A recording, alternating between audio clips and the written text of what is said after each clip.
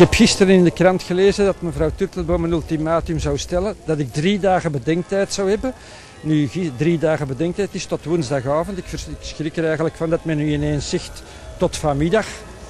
Ik heb er nog eigenlijk niet direct over nagedacht, dus ik, moet, ik wil daar nog niet voorbarig op antwoorden.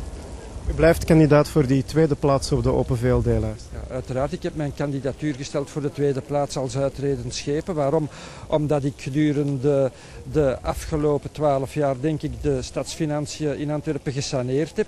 Begrotingen in evenwicht gemaakt en sluitende meerjarenplanning. En dat zonder de belastingen te verhogen. Waarom stel ik mij opnieuw kandidaat? Omdat de historische schuld van de stad Antwerpen zal afbetaald zijn in 2018. En omdat ik dat nog eigenlijk van zeer nabij wil begeleiden ook eh, rekening houden met het feit dat ik de belasting voor de Antwerpenaar echt niet wil verhogen. En wat als mevrouw Turtelboom zegt die lijstuur plaats of niet?